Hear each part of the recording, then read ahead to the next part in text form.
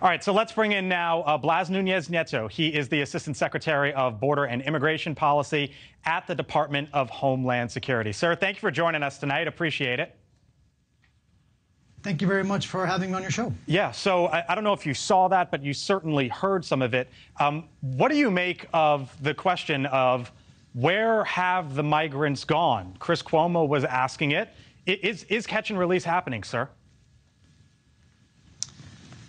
So, what I can tell you is that obviously, in the days leading up to the lifting of Title 42, we saw uh, a surge in migration, and uh, we're averaging about 10,000 encounters a day between our ports of entry. In the three days uh, since uh, we returned to our traditional Title 8 authorities at the border, we've seen less than half that many encounters, averaging uh, you know a little less than uh, 5,000 encounters a day.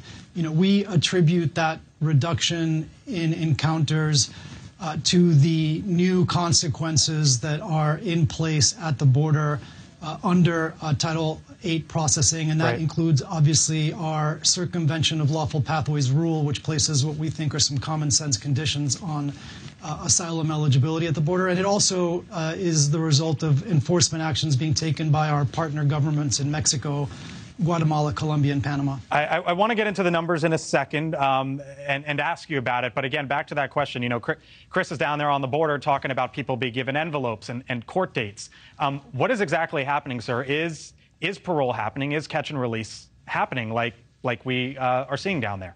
What would the Biden administration say? So. Yeah, obviously we are uh, under uh, a court order that limits our use of parole uh, out of our border patrol facilities, and we are abiding by that uh, court order. But it's important to note, frankly, that you know that authority has been used by presidents from both uh, parties in order to expedite processing out of our border patrol facilities when we have dangerously overcrowded conditions. So we view that as a, as a very harmful ruling.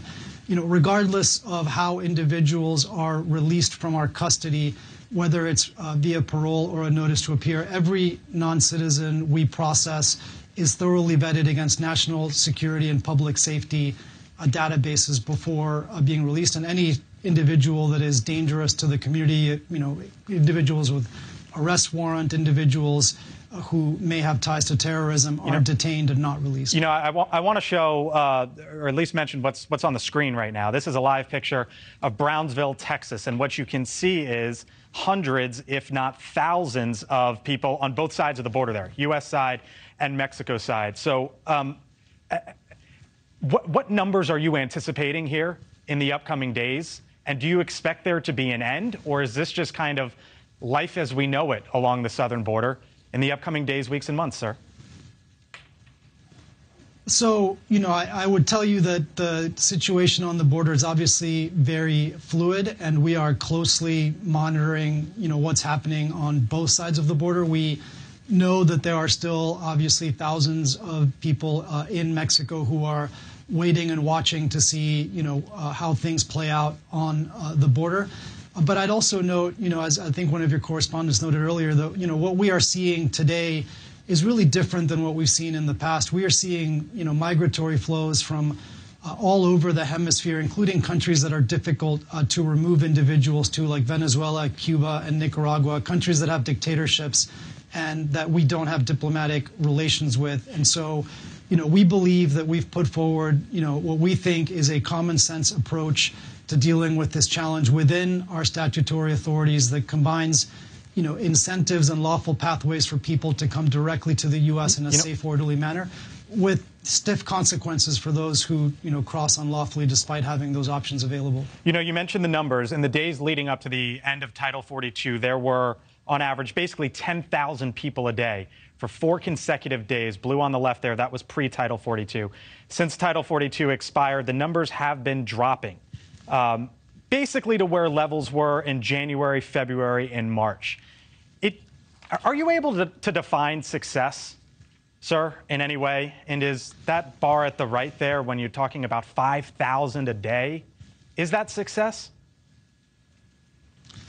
You know, by, I will be frank, by historical uh, standards, that's still you know a relatively high number of encounters. Obviously, again, what we're seeing over the last few years is a fundamental change in migration. But I'll, I'll be honest, you know, we're seeing these surges in migration happening with increasing regularity now for over you know two decades under presidents of both parties.